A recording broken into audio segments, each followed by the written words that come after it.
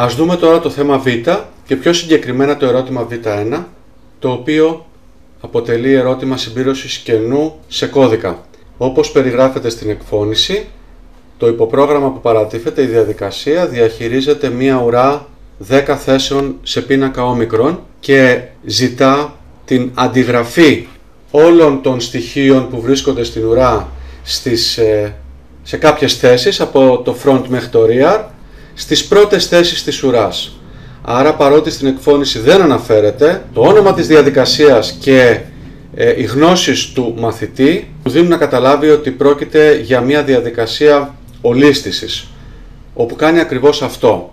Η ολίσθηση δεν περιγράφεται στο βιβλίο μαθητή, όμως περιγράφεται στις οδηγίες μελέτης, όπου πρέπει οι εκπαιδευτικοί ε, να παρουσιάσουν στους μαθητές την ολίσθηση, όπως αποτυπώνεται, και επίσης περιγράφεται στο τεύχος των λύσεων του βιβλίου μαθητή. Εδώ στη σελίδα 16 του τεύχους των λύσεων περιγράφεται η ενέργεια της ολίσθησης και το πώς ε, πρέπει να γίνει αυτή η αντιγραφή και ε, ουσιαστικά όπως διαβάζουμε ε, ελέγχεται αν η τελευταία θέση της ουράς είναι γεμάτη και μετατοπίζονται, αντιγράφονται ε, στις πρώτες θέσεις της ουράς που είναι κενές τα στοιχεία που βρίσκονται στο τέλος της ουράς. Ο κώδικας δε που παρουσιάζεται στις λύσεις για αυτό το σκοπό ε, είναι αυτός εδώ που δεν είναι συναφής, δεν είναι ακριβώς ο ίδιος με ε, τον κώδικα συμπλήρωσης κενού του ερωτήματος Β1. Παρατηρούμε όμως ότι ο κώδικας αυτός πραγματοποιεί τη λειτουργία της αντιγραφής από τις ε, τελευταίες θέσεις, τέλος πάντων εκεί που έχει στοιχεία η ουρά, προς τις αρχικές θέσεις ξεκινώντας με το δείκτη I από τη θέση 1 και εξής. Πρώτα πραγματοποιεί με τη δομή για την αντιγραφή των στοιχείων της ουράς και στη συνέχεια στις γραμμές 45 και 46 που βλέπουμε εδώ φροντίζει να ε, ενημερώσει τους δείκτες εμπρός και πίσω ώστε να γνωρίζουν ε, αυτοί οι δείκτες να μπορούν να υποδείξουν τις θέσεις που ε, περιέχει στοιχεία η ουρά. Πρώτα κάνει την αντιγραφή και στη συνέχεια ενημερώνει τους δείκτες. Πράγματι όπως παρατηρούμε στη σελίδα 24 των οδηγιών διδασκαλίας ε, ζητείται από τους εκπαιδευτικούς να παρουσιάσουν τη διαδικασία της ολίσθησης στους μαθητές η οποία περιλαμβάνεται στο τεύχος των λύσεων ένας ενδεικτικός τρόπος ε, υλοποίησης, προφανώς υπάρχουν και άλλοι και ε, δίνεται ως ε, πληροφορία στους μαθητές ότι η ολίσθηση ε, θα υλοποιείται όταν ζητείτε από την εκφώνηση και θεωρούμε ότι διαφορετικά δεν χρειάζεται να πραγματοποιηθεί. Η ουρά θα θεωρείται, θα λογίζεται γεμάτη όταν υπάρχει στοιχείο στην τελευταία της θέση. Ακόμα και αν είναι το μοναδικό στοιχείο που υπάρχει στην ουρά, ε, στο πλαίσιο υλοποίησης της ουράς, στο μάθημα εδώ με τον τρόπο που υλοποιείται, θεωρούμε ότι αυτή η ουρά είναι γεμάτη. Και η ολίσθηση φροντίζει ώστε να ανανεώσουμε την ουρά, να μετατοπίσουμε ε, τα στοιχεία της στις πρώτες θέσεις, ώστε να μπορούμε να ε, εισάγουμε στη συνέχεια νέα στοιχεία ε, στις θέσεις που θα έχουμε δημιουργήσει στις κενές ε, μετά. Τη λογική υλοποίησης της ουράς και ενδεικτική κωδικοποίηση που θα μπορούσε να υλοποιείται για τη διαχείρισή της, εισαγωγή, εξαγωγή στοιχείων και η ολίσθηση, περιγράφονται σε βίντεο που ε, είχα δημιουργήσει στο κανάλι μου στο YouTube ε, πριν ε, παρουσιαστεί το νέο σχολικό βιβλίο πληροφορικής, αλλά είναι συμβατός αυτός ο τρόπος. Εδώ παρατηρούμε ότι ο κώδικας, ο συγκεκριμένος, ο προτινόμενος για την ολίσθηση η συντήρηση της ουράς είναι αυτός που υπάρχει στο ερώτημα Β1 για τη συμπλήρωση κενού. Ουσιαστικά, η λειτουργία της αντιγραφής που περιγράφεται στην ολίσθηση τι θα κάνει; Θα αντιγράψει ένα-ένα τα στοιχεία της ουράς από τις πίσω θέσεις της εμπρός. Δηλαδή, το πρώτο στοιχείο της ουράς που είναι στη θέση front θα αντιγραφεί στη θέση 1. Το δεύτερο στοιχείο της συγκεκριμένης ουράς που είναι στη θέση front συν 1 ή rear τέλος πάντων θα αντιγραφεί στη θέση 2. Και ακολούθως θα πρέπει οι δείκτες εμπρός να ενημερωθούν να ξεκινάει η ουρά από τη θέση 1 και ο δείκτης πίσω ε, να πάρει την τιμή 2.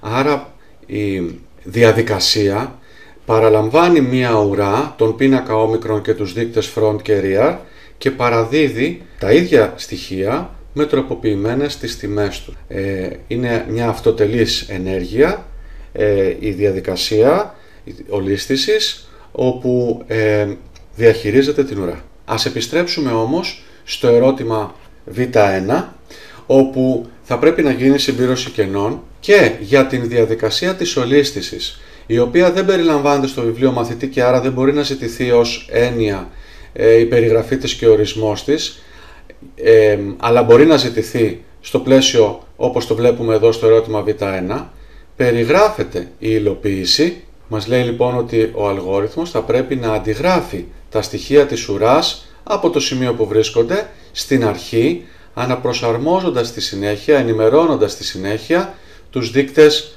front και rear. Άρα περιγράφει τι πρέπει να κάνει η ολίσθηση και έτσι μπορεί στη συνέχεια ο κώδικας που παρατίθεται να ζητήσει από τους μαθητές ακριβώς αυτό. Βλέπουμε λοιπόν ότι εδώ υπάρχει μια διαδικασία η οποία δέχεται τον πίνακα όμικρον, δέχεται τον δείκτη front, την ε, κίνηση της ουράς και τον δείκτη rear και στη συνέχεια υλοποιείται η λειτουργία της αντιγραφής όπως περιγράφεται στην εκφώνηση. Η λειτουργία της αντιγραφής εν γέννη χρησιμοποιεί έναν μετρητή ε, δείκτη όπου εδώ παρατηρούμε ότι έχει το όνομα K ε, και ο οποίος αξιοποιείται για τη λειτουργία της αντιγραφής. Συνεπώς το κενό 1 ε, πιθανολογούμε ότι η συμπλήρωση θα είναι με την τιμή 0 γιατί ο μετρητής αυτός ε, αρχικοποιείται με την τιμή αυτή για να ξεκινήσει ε, από εκεί.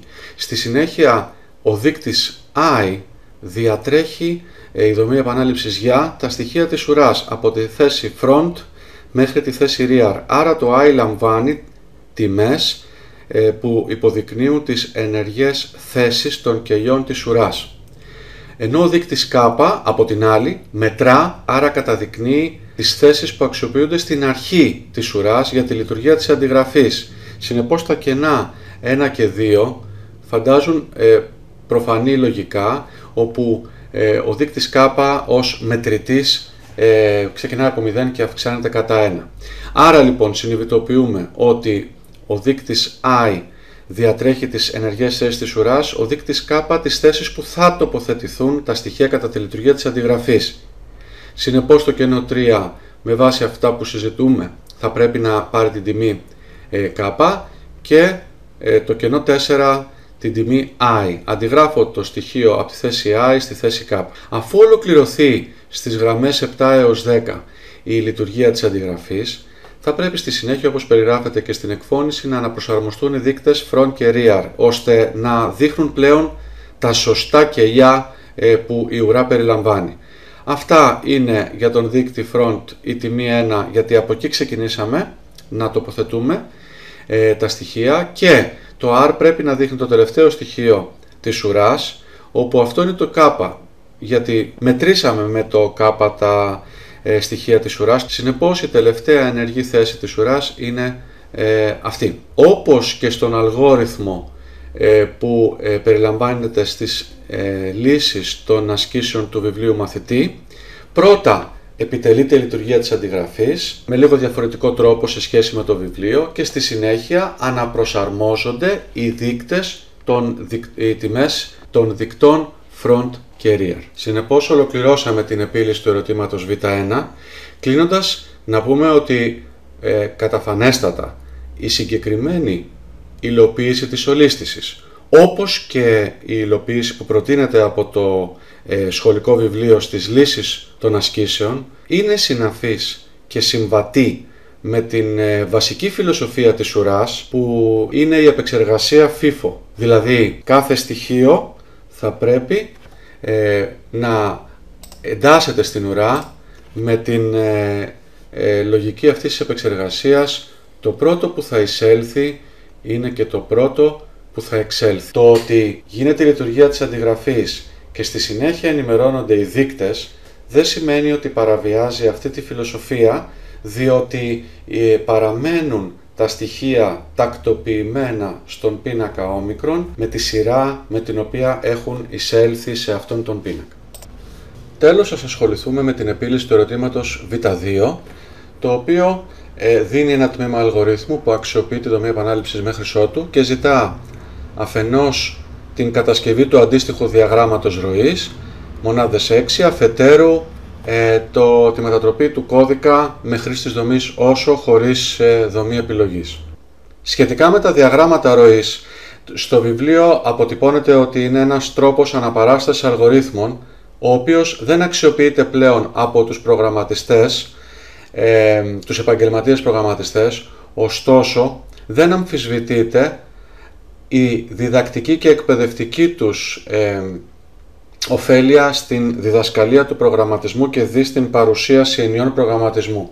Από εξεταστική πλευρά, τα διαγράμματα αξιοποιούνται για να εξετάσουν συγκεκριμένες δεξιότητες και κατά πόσο κάποιος μαθητής έχει κατανοήσει συγκεκριμένα στοιχεία γύρω από κάποιες δομές ή κάποια τμήματα κώδικα. Τώρα, ας δούμε το διάγραμμα ροής. Δεδομένου ότι η εκφώνηση μας παραθέτει τμήμα αλγορίθμου, τμήμα ε, διαγράμματος ροής θα πρέπει να δώσουμε και εμείς την απάντηση. Άρα δεν θα σχεδιάσουμε την έλλειψη αρχή ούτε την έλλειψη τέλος ε, στο διάγραμμα ροής που θα παραθέσουμε θα είναι και αυτό το τμήμα. Άρα λοιπόν έρχεται η ροή με ένα βελάκι χωρίς έλλειψη και το S0 θα παρατεθεί με ε, χρήση ορθογωνίου παραλληλογράμμου. Στη συνέχεια η είσοδος διάβασε χ θα πρέπει να αποτυπωθεί εντός, ορθογων... ε, συγγνώμη, πλαγίου παραλληλογράμμου. Στη συνέχεια υπάρχει δομή επιλογής χ μεγαλύτερο του μηδενός. Κάθε ρόμβος έχει ένα βέλος που φέρνει τη ροή σε αυτόν και δύο βέλη ε, για την εκτροπή της ροής. Ουσιαστικά καλύπτουμε την περίπτωση αληθές ή ψευδές σε σχέση με την ε, συνθήκη που ελέγχθηκε στο ρόμβο. Αν η συνθήκη λοιπόν χ μεγαλύτερο του μηδενός είναι αληθής ισχύ, τότε η ροή θα μεταβεί στην αμέσως επόμενη εντολή του αρχή επανάληψης. Το αρχή επανάληψης είναι δηλωτική εντολή, δεν ε, αποτυπώνεται με σχήμα στο διάγραμμα ροής, άρα λοιπόν θα πρέπει να πάμε στην αμέσως επόμενη και να την αποτυπώσουμε δεδομένου ότι είναι εντολή εκχώρησης σε ορθογώνιο. Ακολούθως υπάρχει πάλι εντολή εισόδου, το διάβασε.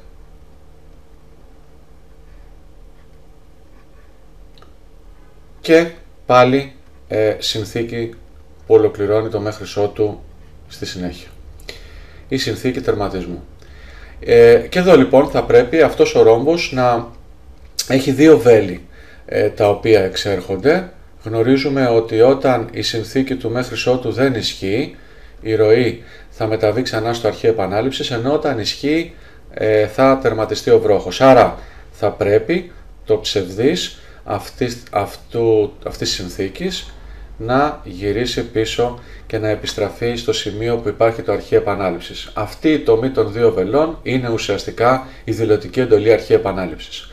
Όταν ε, η συνθήκη ισχύει τότε ολοκληρώνεται, άρα θα πρέπει να μεταβεί η ροή στην αμέσως επόμενη εντολή μετά το τέλος αν. Ε, δεν υπάρχει αλλιώς, άρα λοιπόν αυτό το σημείο εδώ που ολοκληρώνει το αν είναι το σημείο τομής ε, αυτών των βελών, αυτή η τομή είναι το τέλος αν στην κωδικοποίησή μας. Ε, αυτό είναι το διάγραμμα ροής. Τώρα, σε σχέση με τη μετατροπή ε, σε κωδικοποίηση με χρήση όσο, θα πρέπει ε, να ασχοληθούμε πρώτα με την επανάληψη. Να γράψουμε τη συνθήκη όσο η οποία θα περιλαμβάνει αντεστραμμένη τη συνθήκη τερματισμού του μέχρι ότου. Άρα λοιπόν, όσο χ μεγαλύτερο του μηδενός επανάλαβε. Εντός του βρόχου υπάρχουν οι εντολές S, S και Χ και διάβασε Χ.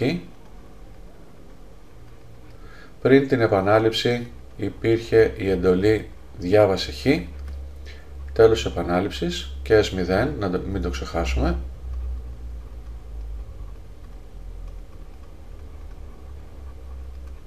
Τώρα, σε σχέση με την ε, πρόβλεψη της εκφώνησης ότι δεν πρέπει να αξιοποιηθεί η δομή επιλογής, παρατηρούμε ότι ε, αυτή η δομή επιλογής που θα μας εξασφάλιζε ότι μπορεί και να μην εκτελεστεί καμία επανάληψη στο μέχρι ότου, ε, εμπεριέχεται αυτή, ε, αυτός ο έλεγχος εμπεριέχεται στη συνθήκη συνέχειας του όσο. Αυτό ουσιαστικά συζητούμε και στις πονηρές μετατροπές από όσο σε μέχρι ότου, ότι αυτή η δομή επιλογής θα με εξασφαλίσει ότι η βασική ιδιότητα του μέχρι ότι θα εκτελεστεί οπωσδήποτε μια επανάληψη δεν θα ισχύσει στη συγκεκριμένη περίπτωση. Αν δηλαδή το χ δεν είναι θετικό, δεν θα εκτελεστεί καμία επανάληψη, ε, ενώ το μέχρι ότι θα το έκανε. Όλη αυτή η συζήτηση και οι έλεγχοι περιλαμβάνονται στη συνθήκη του όσου. Γι' αυτό και ε, είναι πιο ισχυρή δομή και χρησιμοποιείται σε περισσότερες ε, περιπτώσεις επίλυσης προβλημάτων. Συνεπώς, η αναφορά της εκφώνησης για μη χρήση ε, της δομής επιλογής καλύπτεται ουσιαστικά από τη μετατροπή μας.